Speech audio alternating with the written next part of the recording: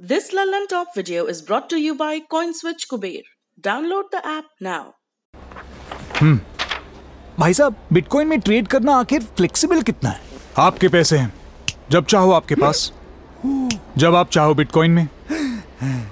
24/7 four seven coin switch Kuber download करो और bitcoin में ट्रेड करो। सिंपल क्रेडिबल फ्लेक्सिबल ट्रेड कर। बेफिक्र। सौरभ गांगुली टीम इंडिया के पूर्व कप्तान रह चुके हैं और फ़िलहाल बीसीसीआई के प्रेसिडेंट हैं। सौरभ गांगुली के खेलने के दिनों की बात करें तो वह एक कमाल के टॉप ऑर्डर बैट्समैन थे। उन्होंने अपने करियर में कई रिकॉर्ड्स अपने नाम किए थे। इन्हीं रिकॉर्ड्स में से एक लॉर्ड्स में टेस्ट डेब्यू पर सेंचुरी मारना भी था। उन्होंने उन्नीस सौ छियानवे में अपने टेस्ट डेब्यू पर लॉर्ड्स में 131 रनों की शानदार पारी खेली थी। अब आप सोच रहे होंगे कि हम आज इस रिकॉर्ड की बात क्यों कर रहे हैं? तो वजह है कि अब ये रिकॉर्ड सौरव गांगुली के नाम नहीं रहा। न्यूजीलैंड के ओपनर डेवॉन कॉन्वे ने इसे अपने नाम कर लिया है। उन्होंने इंग्लैंड के खिलाफ शुरू हुई टेस्ट सीरीज़ के पहले ही दिन ये कारनामा कर दिखाया है। डेवॉन ने दिन के तिरासीवे ओवर में गांगुली के 131 रनों को पार कर दिया। 25 साल पहले गांगुली ने 301 गेंदों में 131 रनों की पारी खेली थी। इसके साथ ही वह लोड्स में टेस्ट डेब्यू पर सेंचुरी मारने वाले तीसरे प्लेयर बन गए थे।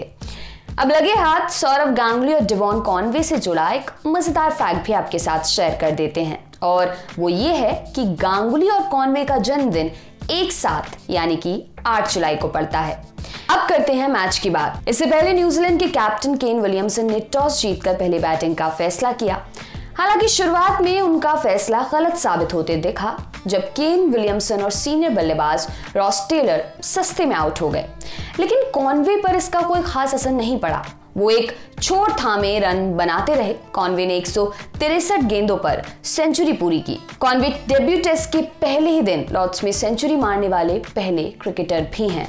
विकेट्स की बात करें तो इंग्लैंड के लिए डेब्यू कर रहे ऑली रॉबिन्सन ने टॉम लॉथम और रॉस टेलर को चलता किया, जबकि अपना एक टेस्ट खेल रहे जेम्स एंडरसन ने विलियमसन का विकेट लिया। टेस्ट में विलियमसन सातवीं बार एंडरसन का शिकार बने हैं। एक उठती गेंद को डिफेंड करने के चक्कर में विलियमसन तेरह रन बनाकर बोल्ड हुए। कॉन्वे की नाबाद 136 रनों की पारी की बदौलत न्यूजीलैंड ने पहले दिन का खेल खत्म होने तक तीन विकेट खोकर 246 रन बना लिए हैं। कॉन्वे के साथ हेनरी निकल्स 46 रन बनाकर नाबाद हैं। बता दें कि न्यूजीलैंड की team world test championship final से पहले इंग्लैंड के खिलाफ दो टेस्ट मैच खेलेगी। इधर टीम इंडिया भी वर्ल्ड टेस्ट चैंपियनशिप फाइनल के लिए इंग्लैंड पहुँच चुकी है। दोनों टीमों के बीच ये बड़ा मैच 18 जून से खेला जाएगा। आपकी ने खबर लिखी है हमारे साथी सूरज ने। मेरा नाम है दिव्यांशी। देखते रहिए दी लल्लन टॉप। शुक्रिया।